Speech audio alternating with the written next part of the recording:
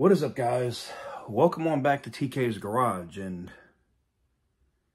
well, I think USAA has screwed the pooch. Literally.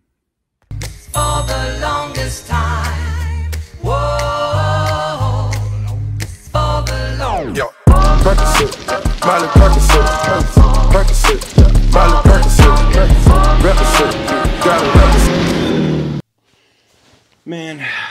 you know, with everything that happened with the Green Monster this year, I figured, you know, that's just the car insurance. You know, my homeowner's insurance is good with USAA, the life insurance, everything else is actually pretty solid, right? Um, you know, maybe this issue with the you know, car insurance is just that. It's just on that side. Well, and then I woke up and I went to go get my coffee like I do every morning. Like if I don't, sometimes I make coffee here, but then there's a coffee shop that's owned by some veterans here in town, and I like to go get coffee. And being that I was getting ready to embark on my trip across the country today, I uh, go up there and I look like an absolute clown. I swipe my USAA American Express card and it doesn't decline. It gives some weird error. So I tried again. Same thing. Well, let me grab my USAA Visa card. Try that one. These are all credit cards, right? All of them are declining, and I'm going, huh. Well, they're not declining. They're giving some weird error, right? So I was like, let me just grab my debit card. Now I keep my debit card locked. So I log into the account to unlock the card, and it says there's no name, there's no nothing. It just gives you the option to order a card. So then I was like, okay, I'll use the other USAA Visa card that I don't ever use. It's got like a seven thousand dollar balance, whatever. It's like a for emergencies card. I don't ever use it, right? But I have it on Apple Pay, so I just have to unlock it, right? It's for emergencies. So I go in to unlock it on the app, and what do I find out? Yeah, you can't lock or unlock any cards on USA right now. Now, this was all about 7 a.m. this morning. It's currently, at the time when we're recording this video, 2.11 in the afternoon. And USAA is being destroyed online. Now, I already made a video over on More with TK on my experience with it and what issues um, I have was having. And uh, I wanted to go ahead and, and put this up so people could see it for themselves because this is absolutely um, ridiculous. It just is. Like there's no there's no excuse for this, man. And if you go to Twitter and look up USAA right now, and I implore you guys this, the only way that USAA is going to learn a lesson here is when they're transparent. Now, when I got on the phone, I sat on the phone for about two and a half hours. Okay, two and a half hours. I sat on the phone waiting to get to a representative, right? In the morning, like right when you open your call center, I was still waiting two and a half hours to get some. And then when I got to the person, they act like they didn't know what was going on. And then they went into the system, and then she would. I think. I think what she did is she read something to me as a consumer that was supposed to be for employees only. Maybe it was like an internal memo, like saying, "Hey, we're en- encountering this issue," and she said that you know, "Hey, it looks like we had a massive data breach, and uh, the only thing USAA could do to, they say, protect everybody was turn off and kill everybody's credit cards, everybody's debit cards." And stop all external and internal transactions. So, like if you were getting a direct deposit today, uh, yeah, you're screwed. You're not getting that.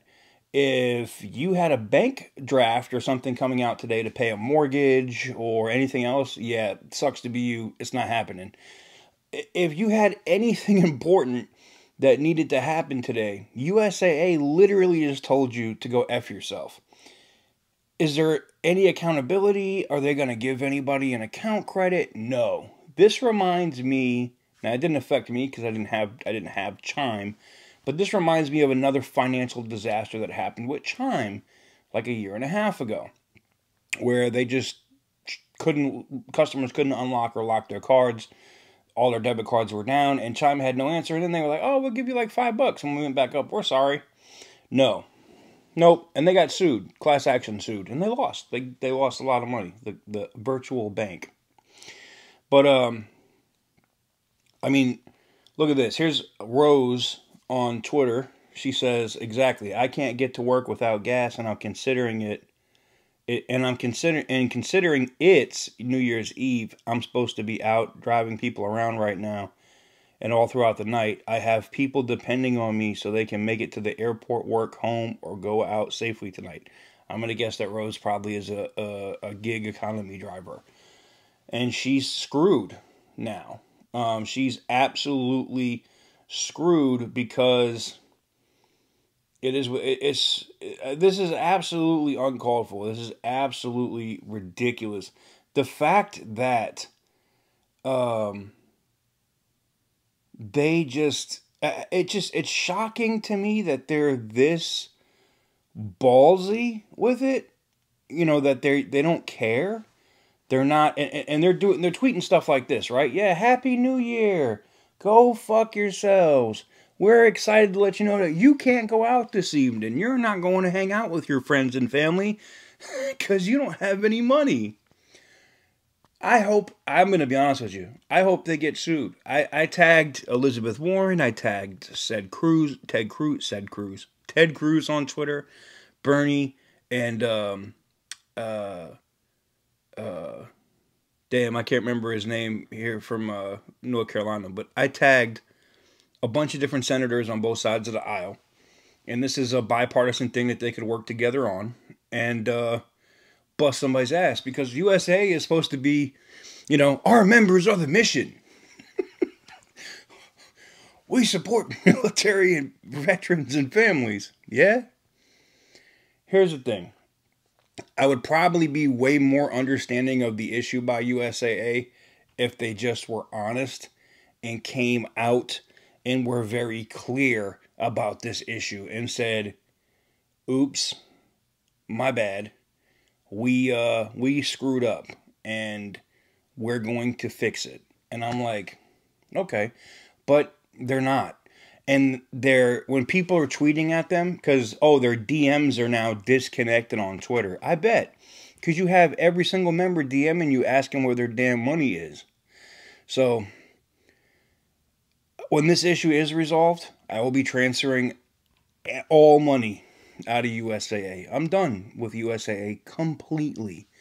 I'm going to talk to the uh, mortgage company that I deal with on the house, and uh, we're to transfer. I'm transferring the homeowner's insurance. I'm done.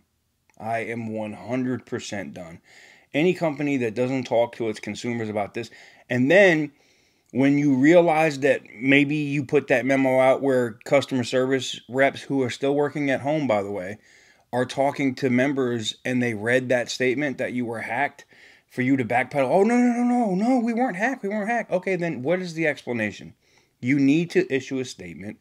You need to let your members know what the fuck is going on. And the fact that you're not over seven hours in and, i found out about it about seven this morning. Some people were having issues while they were going to catch their flight at 4 something this morning, East Coast time. So, yeah, no. I'm sorry.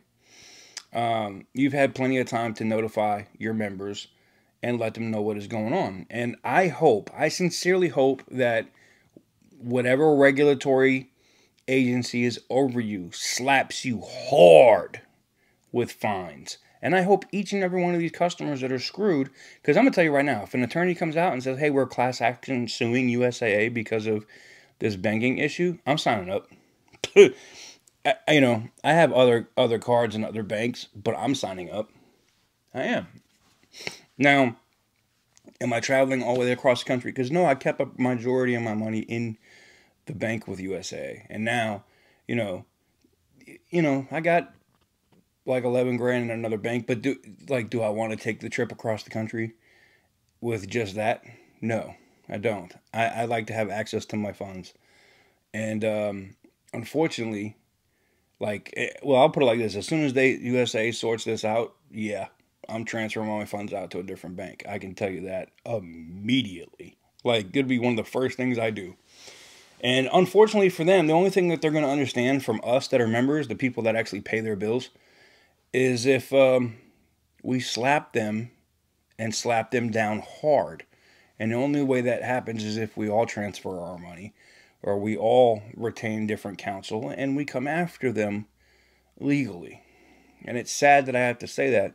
You know, I had my issues with their car insurance uh, and how my car was a de- absolute debacle. And if you're seeing this video for the first time, there's a whole series here on the channel under the Green Monster. You can watch that disaster. But this is a whole different department for them. Like this is not just it just it tells me that they're putting people in charge or there are people that they're hiring that are managing these systems in these areas. They don't care about quality anymore and they're just get picking whoever they want, like just whoever will work for them. And it's really like USAA used to be great. It was. It's not anymore. So Sucks I have to make this video on New Year's Eve. What a way to close out the, the, the year, right? I'll try to be more upbeat later today, but there you have it. Let me know what you guys think in the comments below. But I think they're screwed.